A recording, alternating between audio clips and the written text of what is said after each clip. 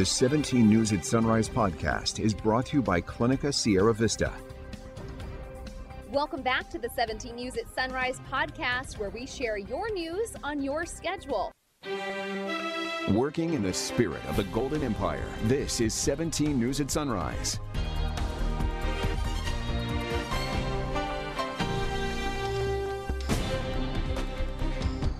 And good morning here at 5 a.m. Thanks for waking up with us. I'm Maddie Jansen alongside Alex Fisher. I'm breaking overnight. A man is dead after a late night shooting in Lamont. The killing happened just a block away from another homicide last weekend. 17's Chris Burton has been working to gather details this morning. He joins us live in Lamont with the latest. Chris, good morning. Alex, Maddie, details are still limited at this time, but here's what we know at this hour. According to Kern County Sheriff's Office, a call came in around 11:45 last night for a report of a shooting on School Street near Elmco Avenue. That's where deputies found a man who had been shot and killed. Now, this was the scene early this morning. Homicide detectives blocking off parts of School Street in their active investigation.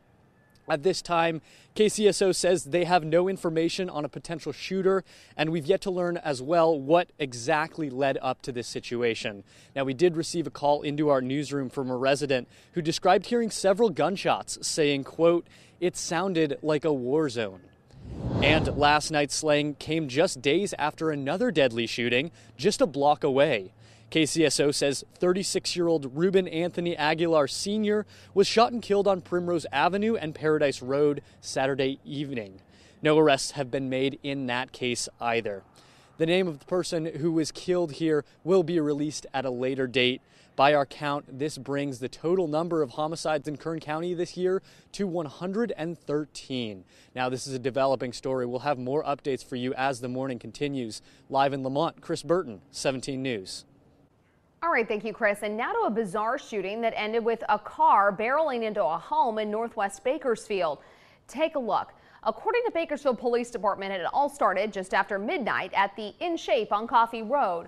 Police say that's where a woman got into a fight with someone, and when she left, police say that person followed her. At one point, the other driver started shooting at the woman's car. As the woman sped away, police say she lost control and crashed into the front of this home on Olive Drive. She was not shot, but was taken to the hospital as a result of the crash. No description of the shooter and no arrests have been made. Education news now in California's impending school vaccine mandate has some parents thinking about alternatives to public education. A group called Californians for School Choice met yesterday at Canyon Hills Church in Bakersfield. They're hoping to gather enough signatures statewide to put the Education Freedom Act on the 2022 ballot. Parents who choose to have their children attend a private or religious school would get a yearly tuition credit of $14,000 per child, among other things. Anybody can qualify as long as it's an accredited school. It benefits homeschoolers, charter schools, private schools, um, Christian schools. Um, and so it's just a good opportunity to be able to um, just take the education back for us parents. The group says it needs 1.5 million signatures to get on next year's ballot. And your time now is 5.06. This morning, the FDA appears poised to not only approve booster shots for those vaccinated with Moderna and Johnson & Johnson, but also clear the way for so-called mixing and matching boosters. As early as today, the FDA could authorize fully vaccinated Americans to receive a booster shot that's different from the brand they initially got. The government will not recommend one shot over the other, saying the public should stick to the vaccine originally received. But for 15 million jabbed with Johnson & Johnson, new research shows antibody levels rose 76-fold with a Moderna booster, compared to a minimal increase with another J&J shot. What we're finding out is that there are some cases where if you got one vaccine and then are boosted with a different vaccine, you actually get a better immune response, a higher titered immune response, a broader immune response against variants. Though the research on mixing and matching vaccines is limited, the practice is widely used overseas. The FDA's decision will be reviewed and likely approved by the CDC. And Kern Public Health announced another death yesterday due to COVID 19 and 313 new cases. Our death toll now stands at 1,616. Currently, 220 people are in local hospitals with most severe symptoms of COVID 19. And according to state data, there are 29 available ICU beds across the county. 17 News is your local election headquarters, and Louis Gill, the former CEO of Bethany Services, announced yesterday he is running for California's 23rd congressional district in 2022. As I walk through the community, I see things changing. I see a DC insider that's more focused on his own political ambition than serving the members of his community. Kevin McCarthy Gill launched his campaign on the internet yesterday with a release, with a news release and his first campaign ad of this young campaign cycle. He's 52, a native of Porterville, with 21 years of experience at the helm of the Bakersfield Homeless Center and the Alliance Against Family Violence and Sexual Assault. Gill joins two other Democratic candidates who want to oust House Minority Leader Kevin McCarthy from Congress. Meantime, Congressman McCarthy's campaign manager Liz Newman responded to our request for comment with this statement, which says in part, Kevin has a strong record fighting for and getting results on the issues that matter most to our communities. Water reform, supporting energy sector jobs, addressing valley fever. This is Kevin's home and he will always prioritize his neighbors. Kevin has personally intervened with the federal government on behalf of countless community members when their voice has not been heard. Recapping our top stories this Wednesday morning, a man is dead after a late night shooting in Lamont. Deputies say it happened around 11:45 p.m. on School Street near Elmco Avenue. No arrests have been made. By our count, this is Kern County's 113th homicide this year. Just 30 minutes later, a shooting ended with a car crashing into a home in northwest Bakersfield.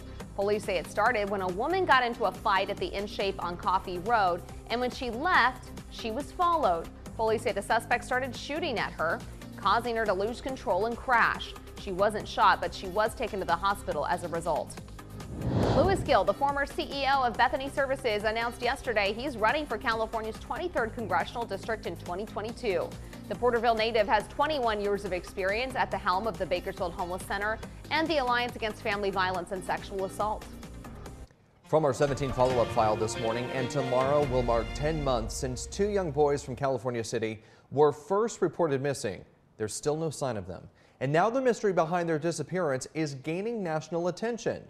Oren and Orson West, also known as Classic and Sincere to their biological family, were reported missing by their adoptive parents on December 21st last year.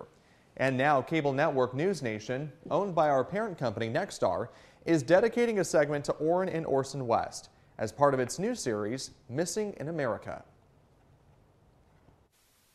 Where are Oren and Orson West? Bakersfield police have been on this case for months and insist it is not cold, but as of this week, the young brothers have been missing for 10 months. The backyard of this home in California City is said to be the last place where the two brothers were seen right before Christmas. Oren and Orson would now be five and four years old. Their adoptive parents told police that the boys were playing out back on the afternoon of December 21st, but the brothers were gone when they went out to check on them later. Bakersfield police have taken over the investigation and admit they are keeping the majority of their evidence under wraps. The adoptive parents have since moved and are no longer talking, but others linked to the case have plenty to say. They might not remember me, but I remember them, and I'll show them. Like it don't matter how long it take, how hard it's gonna be. I won't give up. I will never give up. We have repeatedly uh, investigated all plausible events that occurred, and the investigation is not done. We have not recovered the boys. You can watch Missing in America on News Nation tonight at 6 p.m. Meantime, a special prayer event will be held in honor of the West Boys tomorrow on that 10 month anniversary with attendees praying for the boys' safe return.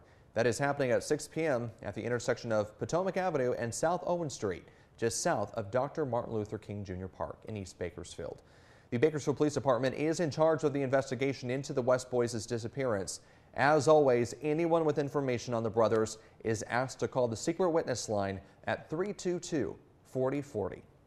Welcome back here at 547 in Education News. Valley Strong Credit Union made a major contribution to Bakersfield College, benefiting the school's Energy Initiative program.